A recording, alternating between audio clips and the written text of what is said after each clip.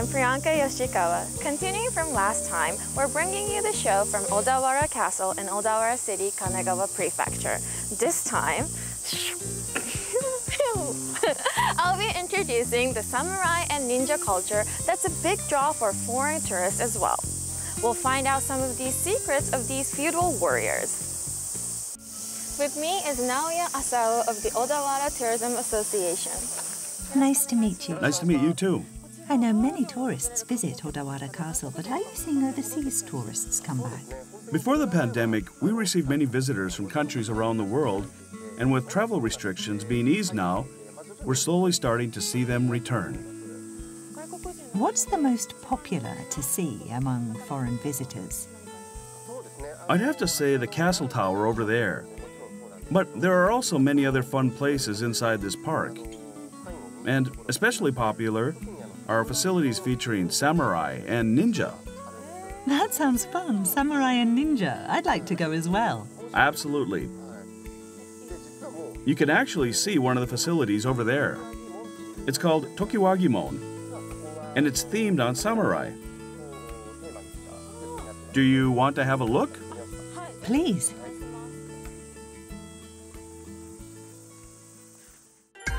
This is the Samurai Museum inside Tokiwagimon. The atmosphere inside feels very grand. It does. This Tokiwagimon facility is on the second floor, and it's called the Spirits of Samurai, the heart of the warrior. Inside, we have displays of samurai armor and Japanese katana swords. In addition, we have other exhibits to get visitors to understand the spirit and artistry of samurai. I see. Their spirit. There's a lot of different types of armor here. Yes. We display various types of armor. In the Sengoku period, there were many battles, and when fighting, many people lost their lives.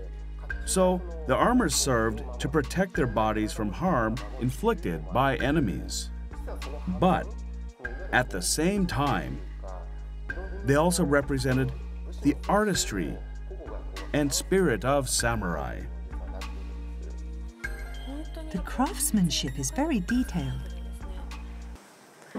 So, this is the soul of samurai, the katana sword. Yes, it's a Japanese sword. As you mentioned, it's a Japanese art infused with the spirit of samurai. They're used to kill enemies in various battles and to protect oneself.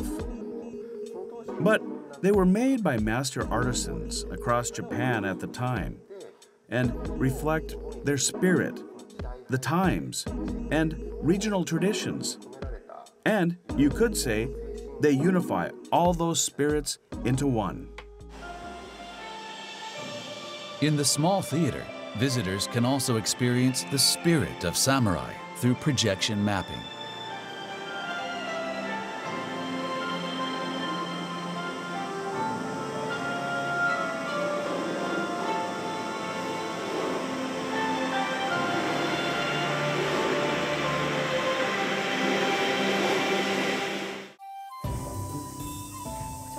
Mr. Asao, it says I can try out costumes here. Yes, you can. I'd like to try.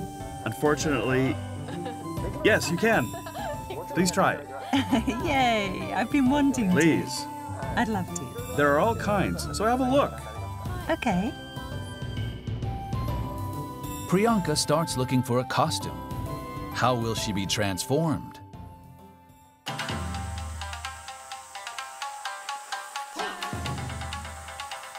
Asao, how does this look? It really fits you well. Really? You're like the last samurai. That makes me happy. It was worth trying it on. How does it feel dressed as samurai and standing in front of the castle? It's fun. Just wearing this, a great memory. So, this is the Ninja Museum. Yes, it's called the Ninja Museum.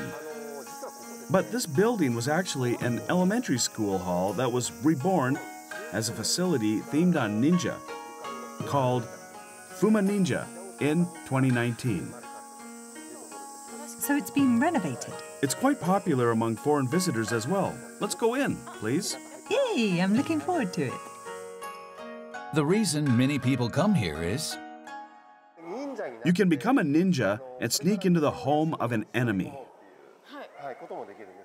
You have to sneak in without making a sound.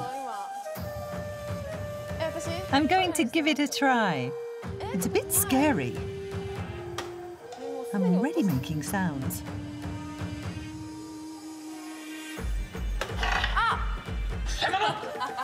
You've been spotted. I'm done. Next, Priyanka tries out an attraction in which she has to defeat enemies with shuriken throwing stars. More, more! 15 seconds left. You did it! Yay! I did it! I was 29. That's among 60 people. So you're a proper ninja. Congratulations. Thank you.